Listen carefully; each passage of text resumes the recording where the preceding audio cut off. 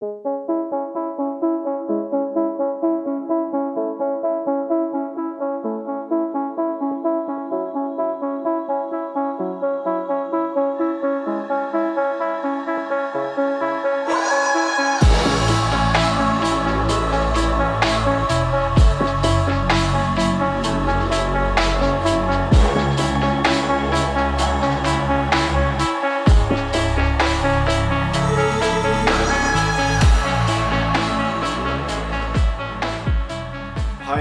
this is Trevor from astrobackyard.com and in this video I just wanted to go over the deep sky imaging rig I've been working on. So if you haven't already noticed, I'm in the new garage at the new house and uh, I'm too ashamed to take you on a full tour of it right now because it's still a complete mess. There's boxes everywhere we haven't totally unpacked so we'll save that for another video. But I've got a nice temporary setup here to show you the rig so let's go with that. The weather this time of year is notoriously awful here in Canada. This year seems to be especially bad. The clear sky chart says it's supposed to clear up any minute now. I think we've had maybe one or two clear nights that were about minus 30 degrees Celsius so far in 2019. Needless to say, I haven't been out imaging yet this year, which is really painful. But I have been working on uh, this rig in the background, getting ready for uh, a brief window of clear sky time that uh, if we do get it. And it looks like there may be one or two hours on Saturday, but we'll see how that goes. Speaking of brief imaging windows, the rig that I was putting together had to be portable and practical and easy to get set up and torn down in a hurry. So I kind of call this a uh, semi-permanent rig because a lot of it is put together. I can carry the whole thing around at once but it's all ready to go. So there's a few features of this rig that make it somewhat automated and I can control it from inside the house. So once I get it up and running, I can disappear inside the house and stay warm and kind of monitor it from there. So first things first, let's look at the mount. This is the Skywatcher EQ6R Pro. Uh, I received this mount in the fall of 2018, last year, and I've been using it ever since uh, when I get the chance and it's been very reliable and uh, just a great experience all around. The guiding has been great, the uh, SynScan system, which I know and love. Uh, it's just been an excellent telescope mount and it's got a payload capacity of 44 pounds. So this little lightweight carbon fiber refractor is no match for the EQ6R and uh, so it's more than capable of handling a system like this. Next up, we're looking at the telescope here, which is my Explore Scientific ED102 carbon fiber refractor. So 102 millimeters, 714 millimeter focal length at f7, and very lightweight, compact. Uh, is great at pulling in uh, large deep sky objects and even some of the medium-sized ones. Not great on galaxies, but all around just a very versatile telescope. And I've been very happy with it. I've had it for a few years now. Mounted on top of the ED102, I've got an auto-guiding combo here, which is the Starfield Optics 50 millimeter guide scope package that includes the GP Cam 2 monochrome camera. So this is a pretty easy and straightforward auto guiding system that's controlled using a, a software called PHD2 guiding. Uh, it's so light, lightweight and small, uh, it really doesn't add anything to uh, the payload and it just works. I've been very happy with this system and uh, no need to change it.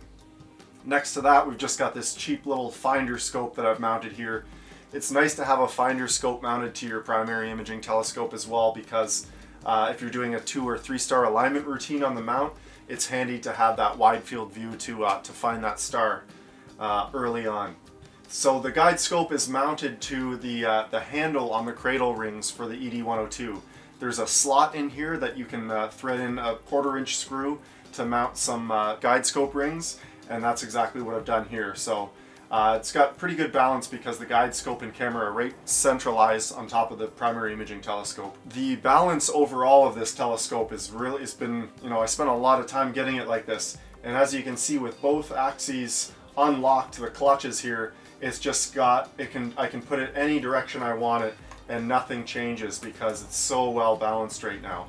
Balance is really important, obviously, for astrophotography. You don't want your, your mount to be working any harder than it has to, so when it's nicely balanced like this, it can just smoothly track the night sky without having to work harder than it needs to and your auto guiding will uh, benefit from it. Next up we have the imaging camera at the base here. This is a Meade DSI 4 monochrome camera, so the Deep Sky Imager. This is a new dedicated astronomy camera with a CMOS sensor, monochrome as I said. It's a 16 megapixel sensor that's also found in the ZWO 1600mm. If you've seen any of the images taken with that camera, you'll have an idea of what to expect with the DSI-4. Very excited to use it. I've installed all the, uh, the correct software and everything to run it using Astrophotography Tool, APT. And then in front of that, I've got a Xagyl filter wheel. This is a five position filter wheel that holds uh, two inch filters. Those filters are the Optolong LRGB filter set, so luminance, red, green, and blue. And then the fifth position is a dark frame disc, so just an opaque black disc. So with this filter wheel and monochrome camera, I can run an entire imaging sequence uh, using APT and tell it to capture images through each filter to uh, build a color image using this monochrome camera in a single night. Uh, in the past, I've never had a filter wheel, so I would manually swap out filters and that usually meant not messing with it and just shooting through one filter per night, uh, which either results in a lot of unfinished projects or just ones that require a one-shot color camera. So this system I'm really excited to start using and a lot of the pros shoot with a system like this, usually a, a, a CCD camera, a monochrome through a filter wheel. In front of that there is the Starfield uh, 0.8 times Flattener reducer, which is a great match for this ED102 telescope at f7. Um, also, what do we have here? On this side, you can see some accessories. This is some stuff from Pegasus Astro. So uh, early last year, late 2017, I installed a Pegasus Astro stepper motor box on the ED102. And then uh, I've got the dual motor focus controller to, to run that. So that is controlled via my PC to uh, make fine micro adjustments to focus. Uh, and the best part about that is, aside from not touching the telescope to focus, is that I can do it from in the house. So say I'm monitoring an imaging session and I notice the stars are just beginning to get a little fatter each frame as the temperature has changed. I can make a, a very fine adjustments to the focus without having to come back out here and create new issues by, you know, touching the telescope more than I need to. So just having that precision control of a, of a motorized focuser is great. Also from Pegasus Astro over here, you'll see the Pocket Power Box. Now this does a number of things for power and it's mounted right on the telescope. So I can control, I can power the camera, I can power the uh, focus motor controller, the uh, dew heater bands on here to uh, prevent dew are also on here. And then uh, I can control the box and the outputs um, from my PC on the uh, dedicated software that comes along with the Pocket Power Box. Really cool piece of hardware that uh, really reduces some of the, the, the, cables running up to the telescope. And as you can see, I've tried to keep things as streamlined as possible. I went a little crazy with the Velcro ties, about a 300 pack on Amazon. And uh, I've tried to um, consolidate some of the wiring here so nothing's catching on anything when I'm not around and creating issues that way. So it's pretty good.